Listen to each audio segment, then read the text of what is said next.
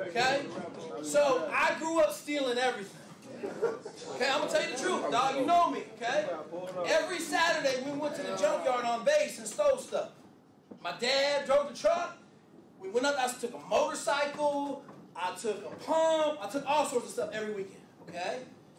Get to high school. I go to a party, I'm taking everything I can sell from the party. I took 500 DVDs in the early, mid 80s when them bugs was 20 bucks a pop, okay? Sold them to this girl I knew for $500, all right? The second I got to the naval academy, I didn't steal another thing. Because why? Because opportunity, the opportunity of getting caught and making a couple bucks wasn't worth what I was going to give up. Everybody understand that? What happens if you get caught for stealing something here? You're gone, right? So here's my point to you guys. Don't let me hear about it. And here's what I'm going to tell you. Tamir, I appreciate what you said, okay?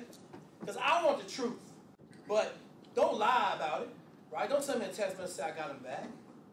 Okay? We can't no stealing in the locker room. Everybody clear on that?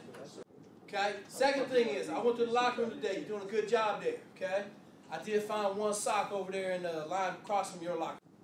Just found one sock. That was it. Okay, so listen, okay? You guys got to take better charge of this room, okay? Keep the locker room clean.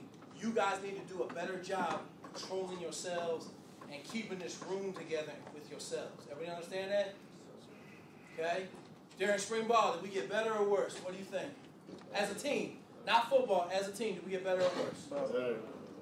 Think we got better? Yeah. Yeah. I got poured out. We got better? Oh, hey, I'm gonna tell you. Remember, remember at the end, we were going a whole week. We had like one dude miss something the whole week.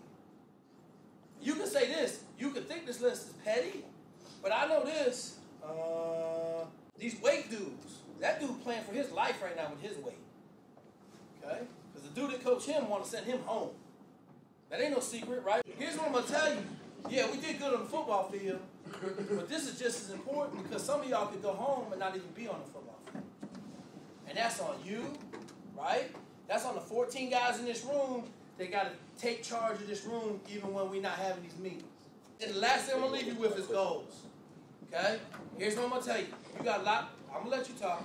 You got a lot of room to grow in this room between right now and August when you report. Okay?